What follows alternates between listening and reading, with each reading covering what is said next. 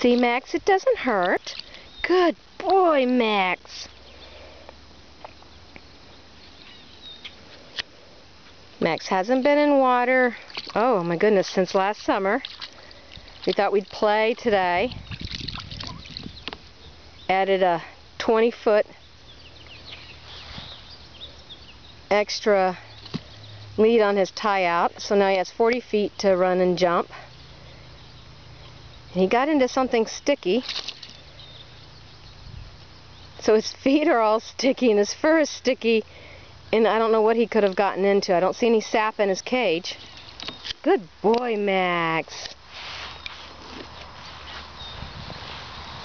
So I had to first put him in there and then show him by playing in it that it was not going to hurt him. Now he's investigating himself.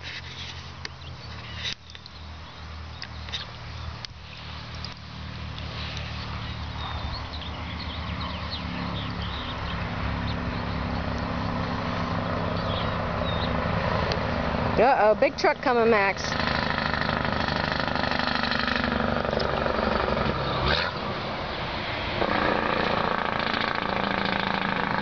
Yeah, that's what happens when you live near a highway.